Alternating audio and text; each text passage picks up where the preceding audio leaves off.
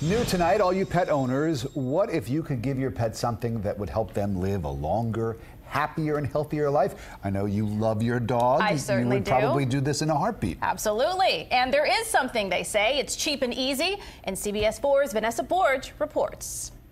Mike White and his wife Laura loved their first Shih Tzu Cosmo so much they got a second one named Vinny.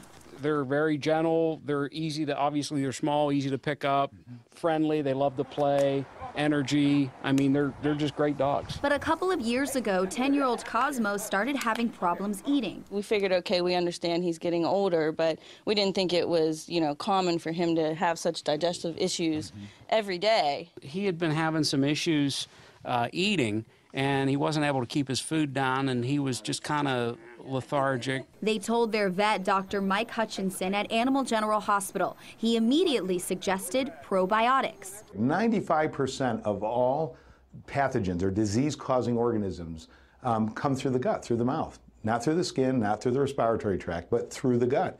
So it's important, it's vitally important that we have good balance. The probiotics for dogs are bacteria in a dry powder that is sprinkled on the food. When they eat, that good bacteria is swallowed and ends up in the large intestine where it balances the harmful bacteria that is causing problems. Hutchinson says it's very different than putting your dog on antibiotics. Antibiotic is anti life.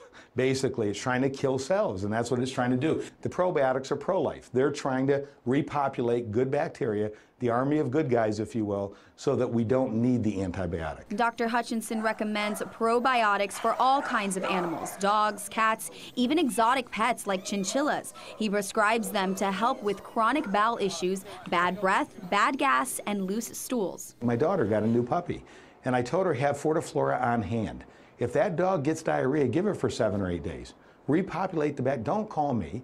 It will probably get better with you just giving this probiotic. Within a couple of weeks of starting Cosmo on probiotics, Mike and Laura saw a huge difference. He's able to keep his food down a lot better, and he's just more active and energetic. He's able to keep up with Vinny. We've seen such an improvement with Cosmo in the past couple years that uh, he is just like a young pup anymore. So I noticed uh, since we started him on that, I think it was the best decision we made. And from the looks of things, Cosmo seems pretty happy about it too. Good boy. Veterinarians say if your pet is relatively healthy and on a good diet, you only have to give them probiotics for a couple of weeks every three or four months to get their system back in balance. The cost averages out to about a dollar a day, so that's about 15 bucks a quarter or 60 bucks a year. Vanessa Borge, CBS 4 News. Interesting. Cosmo is so cute. New tonight, all you pet owners, what if you could give your pet something that would help them live a longer, happier, and healthier life? I know you love your dog. I certainly You would do. probably do this in a heartbeat. Absolutely. And there is something they say. It's cheap and easy. And CBS 4's Vanessa Borge reports.